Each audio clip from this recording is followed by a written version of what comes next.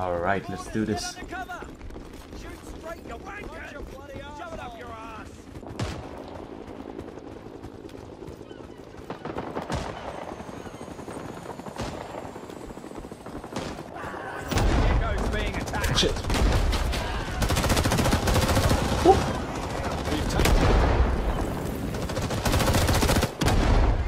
Every single year at this time of the year right now until maybe around January 10, this perfect free mod, in my opinion it's perfect, is becoming available again in this war game. And it's also the time where many people are coming back to this actual awesome game that has been abandoned by the developers for some years now. And people are coming back because of this mod, because it is so much fun and only available for a limited time. This is the Green Army Men mod from Rising Storm 2 Vietnam, a beloved Vietnam experience that has unfortunately been forgotten and left aside by its developers who are working on another game right now which is IGI Origins. Once in a while I see some new videos on Rising Storm 2 Vietnam and these people are begging for it to come back alive and just have some kind of new update or something that makes the game fresh again. Rising Storm 2 Vietnam still has a pretty big, steady, loyal player base after all these years and I still wonder why they abandoned it.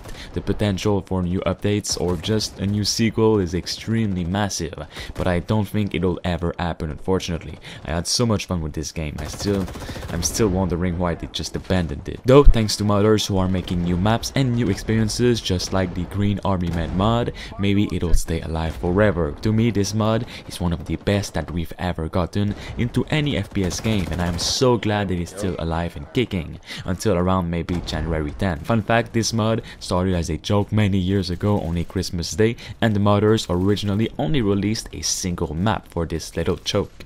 The mod then got so popular that these modders turned it into a full-on experience with new maps, weapons, gameplay features and so on and they even partnered with the actual devs of Rising Storm at the time to release the mod every year of Christmas to make it more official and to release new features. Sometimes I think it feels awesome to be fighting in someone's backyard or under someone's Christmas tree. You can also fight underwater in a random pool, in a garden and all of this with Rising Storm 2 features like helicopters and so on. This mod to me right now is something that I'll be playing for a few days. It's just awesome to play and it's only available for just a limited time and I loved it and it's the only time that this mod is getting popular and so I think if you guys are interested you should join in Rising Storm 2 Vietnam right now. It is a free mod.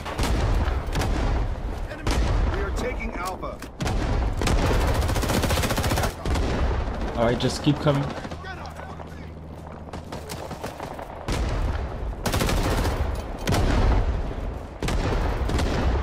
Are taking Alpha.